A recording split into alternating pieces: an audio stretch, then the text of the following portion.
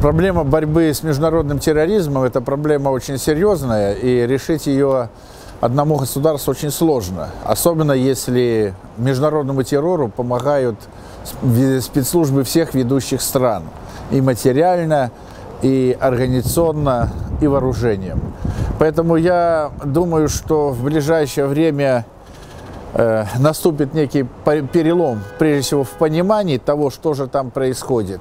И начнется этот перелом с Европы. В Европе будут очень большие проблемы с этими гражданами.